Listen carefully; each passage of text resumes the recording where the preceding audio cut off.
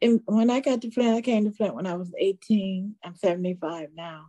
And it was a wonderful, friendly city. city. It was, you know, everyone was working and everyone was friendly. It was always like each one reach one, and it was a community spirit of helping each other. Now we're afraid of each other.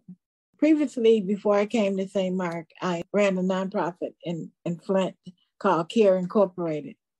And in that, we provided substance abuse and mental health services for over 15 years. And then I came over here and we started a center here.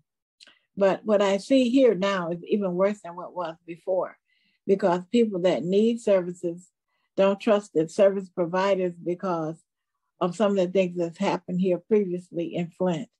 I remember in the mental health system years ago, you would send people over to get mental health therapy uh, with the dual diagnosis, and they would just give them a shot.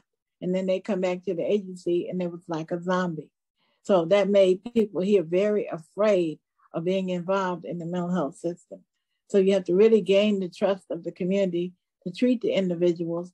So therefore, we started a nonprofit outreach center here on the other side of the church building, which we deal with suicide and we deal with all of the different issues that causes grief and and it causes financial difficulties and it impacts single families. Flint needs a continuum of support care, not uh, discombobulated. It needs to be united and like a one-stop shop and where they feel like they can trust what the people that are helping them.